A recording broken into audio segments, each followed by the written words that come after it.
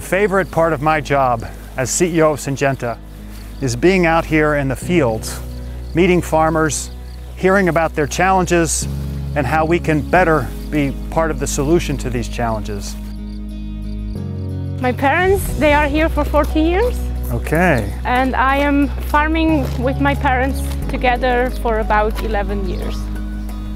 I love that we serve smallholder farmers and big farmers and farmers all around the world.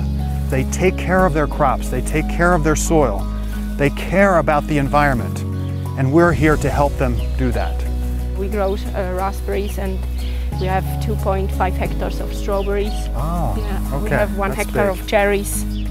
I was listening to the farmers who not only had their fathers farming this farm, but their grandfathers, many generations, and they want to pass the farm on to future generations. So they care about working together with Syngenta to do it in a sustainable way.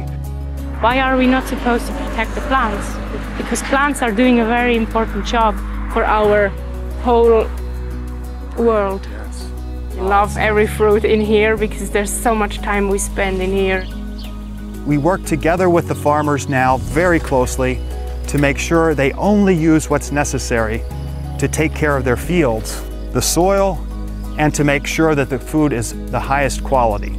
So it's so important that these smallholder farmers are supported in the right way. And I heard today about the importance of getting this advice so that they can have leading edge practices to take care of their farms well, to get good yields, and to use the least amount of pesticides possible, but still get the good crops. It's really terrific to be here.